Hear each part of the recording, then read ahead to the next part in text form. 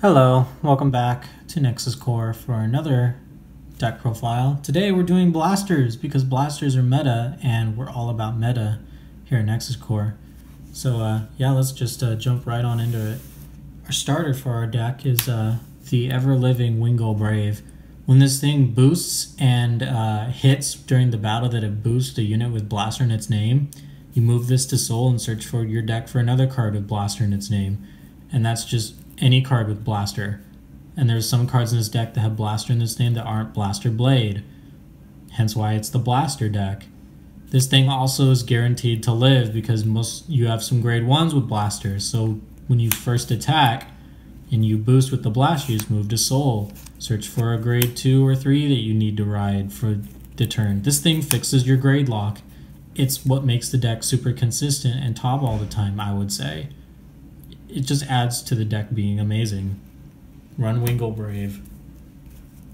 Next up, four copies of Blaster Blade Exceed. So, uh, what this thing does is uh, you ride it. You don't ride anything else in this deck because uh, Wingull Brave uh, gives it to you, basically. Um, you uh, when this is written or called, you counterblast one and you can kill something that's grade one or greater on the field. So why not? I love retiring in non-retire based decks. This other skill is when you stride, if the unit, the G unit, has Saver in its name, you search your deck for a card with Blaster Blade in its name and add to hand, like itself, so you can stride the next turn. Consistency is great. Speaking of cards with Blaster in their name, we got a new Lou, and he has Blaster in its name. What he does is when he's placed on rear, you uh, can uh, choose a card with Blaster Blade and its name from your drop zone, and you uh, put it in the bottom of your deck, and he gets 5k. That's really great, and because he's 16k beater, and also he has Intercept, and he gets 5k shield. So he's basically like a grade 2 in a sense, but he's a grade 3, so that's nice. So let's move on to our grade 2s. We got the star of the deck. We've got four copies of Blaster Blade, so uh, what Blaster Blade does is uh, he retires stuff. Yeah, I, love retiring in non-retire based decks. Uh, when he's placed on rear, you counterblast two, and you can kill a grade two or greater. When he's placed on van, you counterblast two and retire anything you want. Uh, you don't typically use him for the skill. You use him because a lot of cards require his name to do a lot of stuff. So you need four copies of him in the deck. Look at that nice boxless text foiling. It's great. I love it. Next for Blaster Blades, we've got two copies of Blaster Blade Spirit. Now, uh, this card doesn't get abilities off of Barkle and Flogal, but uh, this card is a 10k base. So when you ride it, you're at a 10k base and you stop rush, and it's great. And he's a target for Alfred and Lou, grade 2 Lou, even grade 3 Lou. He's, he's a target for Lou, it's great. He uh, when he's called from deck, uh, you can counterblast uh, one to kill your opponent's grade two or greater. And uh, when he's attacked, it doesn't matter what he's attacked by. This thing dies. Like he's a ghost. Get it? He's a spirit. He's also a gold paladin. Yes.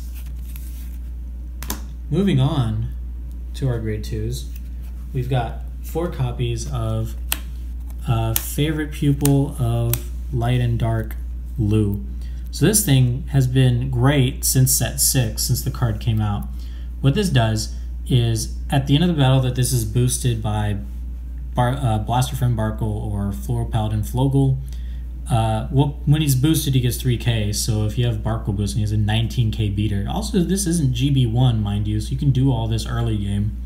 Uh, at the end of the battle, move to Soul, search your deck for a grade 2 card with Blaster and call it, and the called card gets 3k. So you can search your deck, call Blaster Blade, and give it 3k, and it's a 12k poke. And if you have Flogal, it restands for if whatever, if you give it triggers or something. Rush.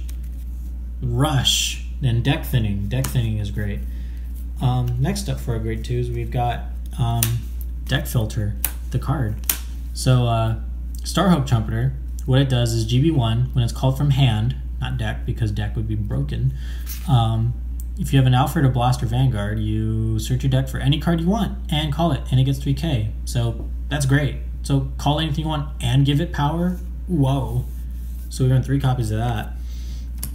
Last card for grade twos, Galatine. Now, before you leave this video and say I'm stupid, take note that this card, uh, take note that there are cards in this deck that let you search for whatever card you want. So treat this as a tech of uh, that in case time you need that uh, 41k shield when you're guarding with uh, Meren G guard, you know, why not? And also since like whatever ends up in your damage zone, who cares? And you draw into it, who cares? It's a 10k shield in your hand that you can use later game. Most of the stuff that you're gonna call is you're gonna call from your deck anyway, so who cares? Also, you're running four of of every of the important card of this deck, so you're good. Now we're on to grade ones. We run four copies of Blaster Friend Barkle because Blaster Friend Barkle is good. What this does is when you call Blaster Blade uh, in the same column as him and you have a Blaster Vanguard, you unflip one. And when you boost uh, Lou, you give Lou a skill. That's cool. Um, next up for grade ones, we're running four copies of uh, the Lien PG because Lien PG is free. And uh, what she does is basically, if, um, the next time your grade 3 unit with Blaster or Alfred and is being attacked, uh, you Soul Blast 1 and you stop it. Yeah, it's just a Soul Blast. You don't have to discard. It's You just keep hand. And uh, yes, this card can work if you're protecting a grade 3 rear guard, but it's so rare that it doesn't matter. So keep in mind, you cannot you typically use this PG early game unless you ride to grade 3 first. So if you have this PG in your hand, you're stuck on grade two, you can't use it. But this PG is so good in the long run that running four of it is more important. Next up, this is a stride deck. We're in stride era, folks. We need to stride. Um, we don't run alt miles, so the alt mile skill is pointless. When we stride, we this becomes a grade three for stride fodder. I only run three, not four, because uh, two reasons. Three is enough, honestly. You see your grade ones to the point where um, you don't really feel like you're you're not seeing them in your hand enough to call. I mean, 13 grade ones is enough to for ride chain alone for the consistency, so the rest of the deck functions perfectly fine. Um, the other reason I don't have a fourth copy is Miles had one, but uh, he didn't give it to me. He gave it to some random he met at locals because, um, yeah, fuck you, Miles. Um, even if, also just as note, even if I had four copies, I'd still run this at three because I need room in the grade two slot for uh, for other stuff. So because of that, we're only running two copies of uh, Swordsman of Light, Blaster Rapier Laura. The only reason we're running Laura is because she has Blaster name. That's basically it. Um, she's your ride target, I would say, for the most part, because she's a vanilla, and like the only thing thing that resist matters against, I would say, is Blade Master. Because like if you keep this behind your vanguard they really have no way to touch it unless they're like playing overlord i guess and they use defeat flare. Um yeah.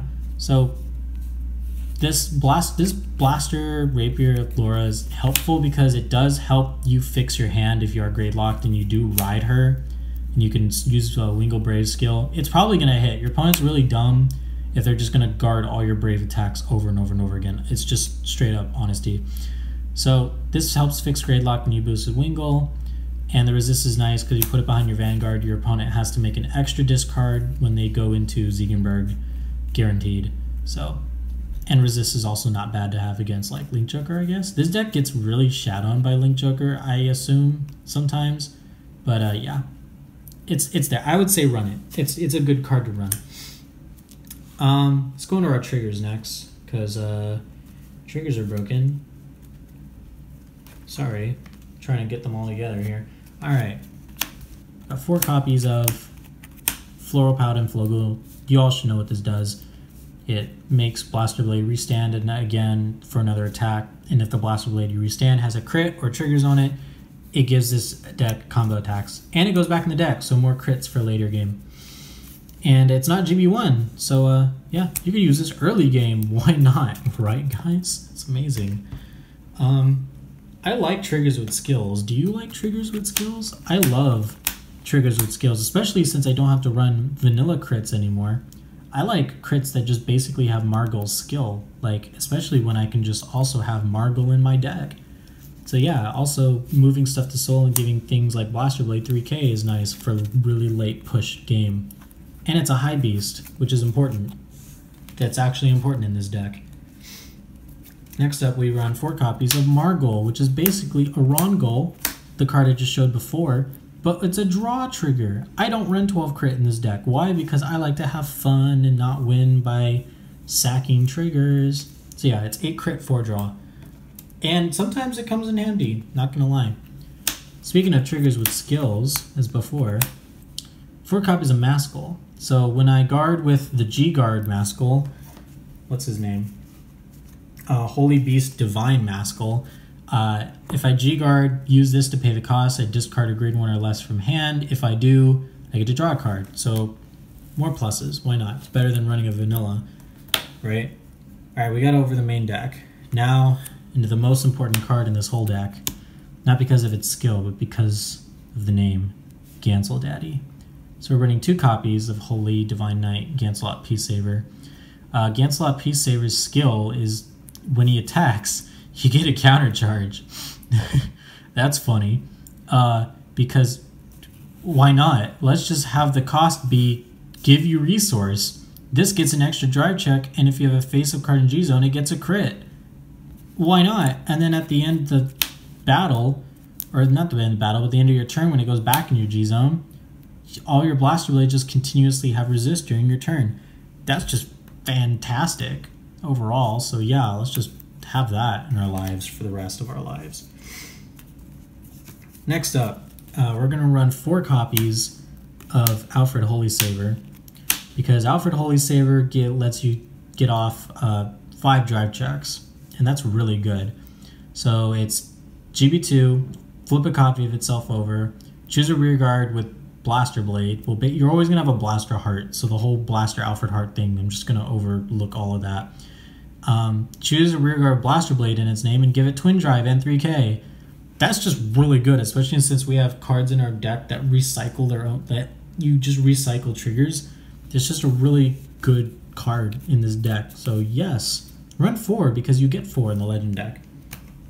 Um, for good cards to run, I would suggest Aerial Divine Knight Alt Mile is a good like tech into the G zone because he lets you search for any grade two for for the simple cost of flip himself.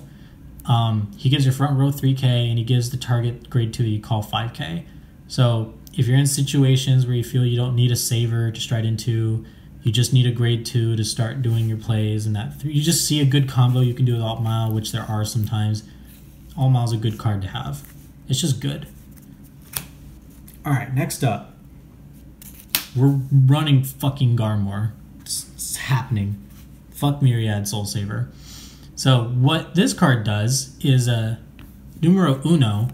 It's a gold paladin, so it's inherently better than the rest of the G zone.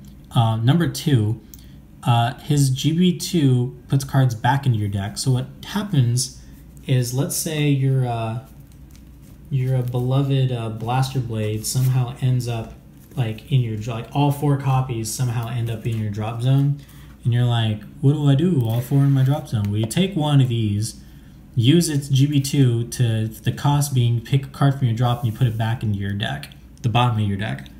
Afterwards, you look at the top six cards, and for each of the cards that are high beasts revealed, you have a card on your field 4K, a different unit for each different high beast.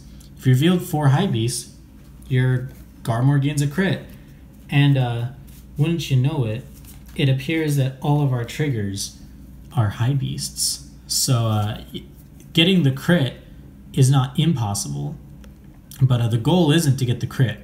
The goal is recycle.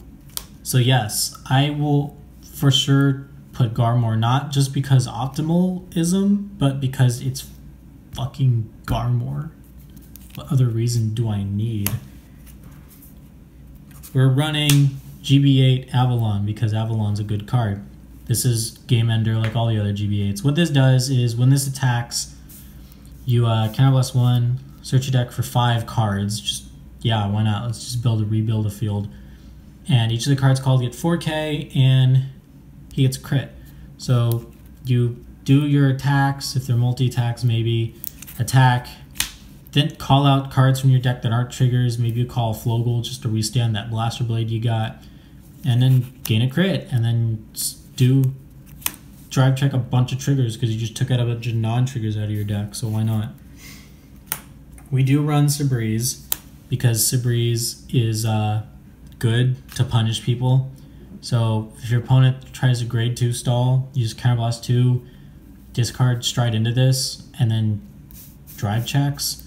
And then because you have Barkle, you can get unflips back and stuff. So yeah, punish your opponent. And also at the end of it, when this goes back in your G zone and your opponent decides to stride, you just stride into Gancelot maybe the next turn, or Alfred because you got GB2 active, and then you can use Gancelot's skill to gain that crit and apply more pressure. So yes, I would suggest running Sabriz. G Guardians. Let's just start. Okay, let's keep going here. Um, Meren skill. You uh, when you G guard Alfred Blaster Vanguard yada yada yada. Soul Escalon, search your deck for a card grade one or greater and call it to guard and gets plus 5k. Your target for this card will always be Galatine if possible, because it makes a uh, 30 30,000 point shield for a 41,000 defense.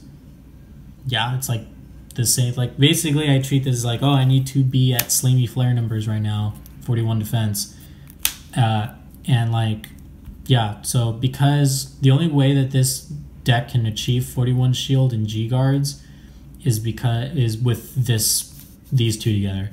Um, the Galatine never really feels cluttered in my deck ever or in my hand or at all. And also it's Galatine. Why not, man? You know, you got you got Meren, Galatine, Blaster Blade, the, the gang's all back together, you know? Why not? Shit. Um running one copy of Assault because uh, you know, Counterblast one, place guard, uh, for each of your guards gain 5k shield. So that's also nice uh, for emergencies when you have like a whole big when you like have a big field and you need like that really huge number. Most of the time your opponent's going to be killing your field for the most part. A lot of decks have retiring now which kind of sucks. So this card's kind of dead half of the time. Uh, but hey you never know. You might have that one game where you have a full field and you're just like hey i'm just going to gain 25 shield thanks um, but other than that this card is mostly like dead uh, it's it's kind of sad honestly Still a good card. Still gonna run it. You know, your G zone's kind of techy in a way, so might as well. Uh, so here's what happened. Uh, I have one Divine Knight Maskell. The reason I only have one is because the other one's coming in the mail, and I wanted to at least get this deck, show you guys this for now. Um, so for the substitute, when I get the other mask goal, this is gonna go away. But for now, I have um, Laser Guard Dragon. Uh, I'm gonna say the two mask goals is not too important because usually you'll use one during the game and then use like Isolt or like Marin. like the rest like for the you can use Marin as your other G guard and then after that you might be a GB8 and you'll win the game. So the one Maskell works fine. The reason I'm gonna get rid of it for laser guards is because they kind of do the exact same thing, but Maskell just gets an extra shield. Laser guard needs a grade two to get 5k this needs a grade 2 to gain 10k. They have the same cost, so to speak, so this is just a stricter upgrade of this. So I'm just going to ditch it when I get my second copy. It's coming in the mail, I just don't know when. Last but not least, you need Dismal because sometimes Blaster Blade is really important, you got to keep it. Sometimes Barkle is really important, you got to keep it, etc. Um, Dismal's really good card to have in this deck to protect your board also, since uh, VMAX exists and Vanquisher is relevant now, uh, this might come in handy against that kind of game. Uh, that was the whole deck. So, uh, yeah, it was um, pretty okay, I guess. This I love the deck. Honestly, it's super consistent. The deck really works really amazingly. The consistency in the right chain, the consistency in the calls, the amount of trigger checking you get with this deck is just phenomenal. And I hope you guys enjoyed. I hope you guys enjoy playing more meta decks like this. This deck was kind of ex- not not kind of. This deck was straight up expensive to build. So don't feel pressured to like play against super expensive decks like this, but this is pretty a pretty optimal and ideal build for this deck. And I hope you guys enjoyed it. And this is Richard and I'll see you guys next time.